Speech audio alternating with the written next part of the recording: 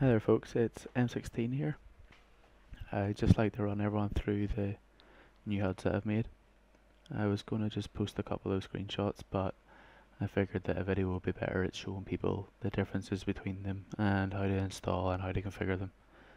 Uh, what you're going to want to do of course is go and actually get the HUD files. Uh, now, they're not cool but I've got a blog that I keep everything that I make on. I'll put a link in the description, but they'll be up here. But what you want to do, it's a better idea, is get them, get the HUD from the community custom HUD website, and the address will also be in the description. But you know, there's loads of HUDs on here. There's what is it, 580 HUDs so far. But if you want to find my stuff, just click on authors, and then EmSixTeen, and you know, all my HUDs are in here. The ones I've uploaded at least and you know the newest HUDs will be at the top. I haven't uploaded this one yet, but it'll be um it'll be right here. So all you do is just click on download on it, and then you know click save file, and uh, save it wherever you want it. I've got it on my desktop already, so you know if you open it up, you'll see there's quite a few files in it, and this is because I had um, originally wanted to just remake Stermy's HUD because you know, whilst he was happy with it and it, it you know, it was pretty popular, what he had originally asked me for was just a replica of the Quake 4 HUD. And, you know, I, whenever I made this, this original one, I didn't really know all that much about HUD making, so, you know, it was all pretty new to me. So, like, I did as best as I could. But, you know, I, I always want to revisit it. And, you know, I let it slide. I didn't do it, but Toxic and Link1n uh, have been asking me for a Quake 4 style railgun zoom. So, you know, that combined with it has spurred me into doing it. So, I got to work and I sat down and I, I made a remake as close as I could to the Quake 4 HUD. And the reason there's so many here are uh, is because uh, I knew not everyone would want an exact replica. So, um, I on some feedback and also what I thought people might like. Um, I've made a few variations of the same HUD. So yeah, that's what all the different files are. And you know, if if you don't know how to install a custom HUD, just go to holysh1t.net. Um, I made a custom HUD install guide a while back, and I posted it on there. Um, I'll put the link for that in the description too. But yeah, just just have a read through it. But basically, on Windows 7, all you do is go Start Computer, uh, click on System, then users your username click on app data which is a hidden folder so make sure you have hidden folders enabled. Uh, then local low and id software Quake Live home base q3 and by default um, the UI folder is not here so if you don't already have one um, just make a folder called UI with nothing in it. But yeah I've already got all my files in here obviously because you know I made them but is where the game loads the files from, loads the HUD file from. Um, so I'll load it up in game now and show you the differences between all the versions and their features. So yeah, this is what the HUD looks like in game. This version of the HUD is the closest replica I could make to the Quake 4 HUD. Um, I took screenshots of the actual Quake 4 HUD and made the measurements as close as possible. So it's pretty faithful. Um, unfortunately, I, ca I can't do any like smooth corners or anything like that, but um, it's as close as I could get it.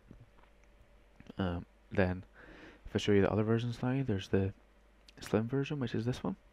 If I load it up, and um, it's just the same, but a little more playable. You know, the icons are shifted around to the side, and you know it takes up a little less screen screen real estate.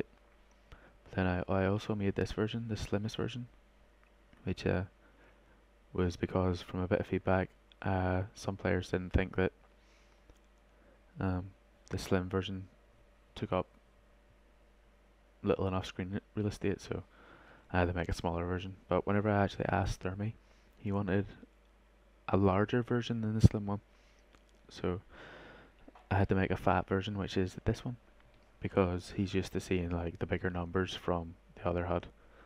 So, you know, that's what version this one is. And then I also made another version with the um, with the values above the bars and uh, I did this for both the slim version and the slimmest version so that's what these two are but uh, if I show you how the actual health bars work now um, as you can see you know with 100 100 it's full green full solid green. But if I do a little bit of self damage it'll go down.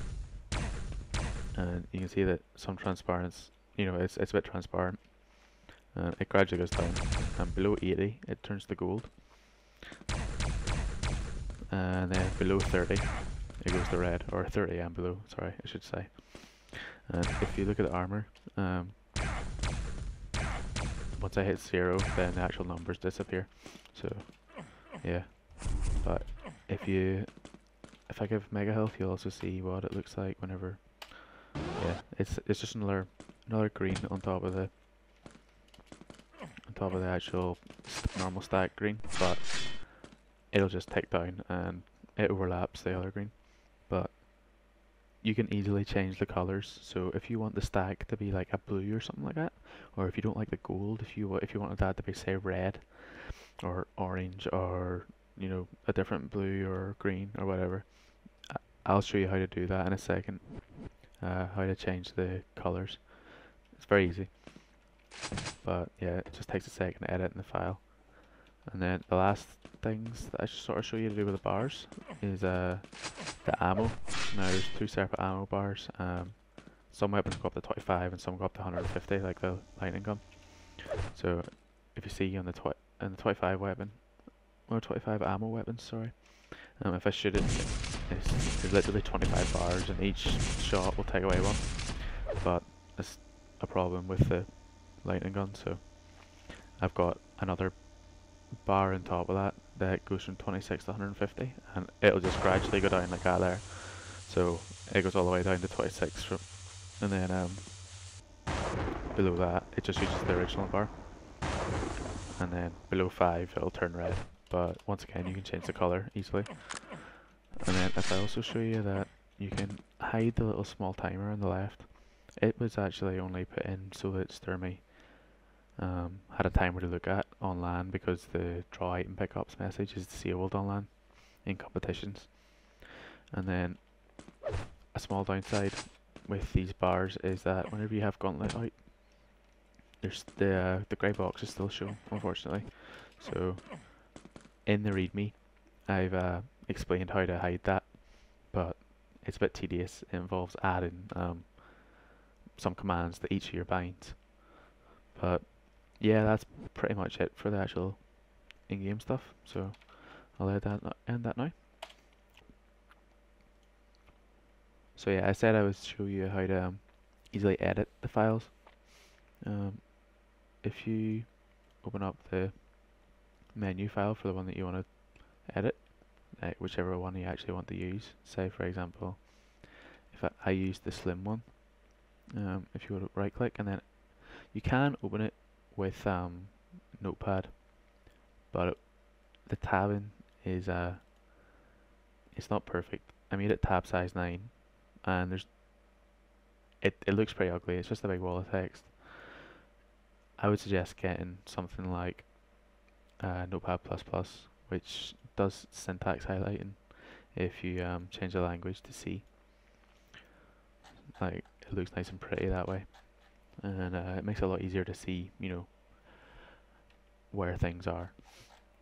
But yeah, if you want to change the uh, colors of the um, the bars and stuff, all you have to do is change lines here. So greater is less than 30, low is 80 and below, healthy is um, yeah, it's everything that's not the stack. So it's all the way up from a uh, 100 to well 80 to 100, but then stacked overlaps it. And uh, yeah, I've just got them as red for low, um, gold for alright, green for healthy, and then uh, uh, the brighter green overlapping the green. But yeah, you can change that easily. All it is it's the first number here is red, and the second number is green, and then the last number is blue. So, uh, because it's because it's all one equals full, and like zero equals none. So, full red, no green, no blue is red, and that's pretty much all there is to that. Uh, if you want to move around the health and the armor, you just change these lines. I've included the default values uh, just in case you do fiddle with it. But yeah, that's all there really is to that. Um, like I said, then in the README I've included um, how to use the zoom, which I uh, forgot to show you, but I will include a screenshot of in the video now. And then, um, yeah, how to hide the mini timer. All you do is put this line in your config and then um, if you want to hide the weapon box whenever the gauntlet is out, unfortunately it's a bit tedious. Um, put, put this line in your config and then for each of your binds for each of your weapons you need to have it so that it's ch underscore hide weapon box 0 so that you don't hide it and then on the gauntlet which is the one that you wanted to hide it on, you put it on ch underscore hide weapon box 1. And uh, yeah, that's that's how you do that. It's a bit tedious so that, and I don't do it personally. But yeah, that's pretty much it. If you need any help, just uh, to me in IRC, or pretty much anyone will give you a hand with HUDs. Uh, I'm EmSixTeen once again, and I'm always in Quake Live in IRC whenever I'm at home. So give me a shout or post in the thread or leave a comment here. And that's that.